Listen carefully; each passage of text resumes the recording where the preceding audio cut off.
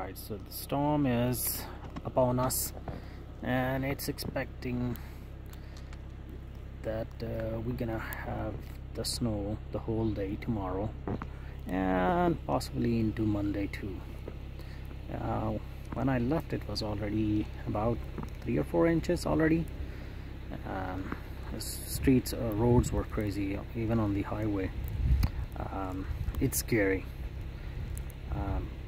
I immediately felt that I made the mistake. I shouldn't have driven to in this, but I made it home. I'm glad.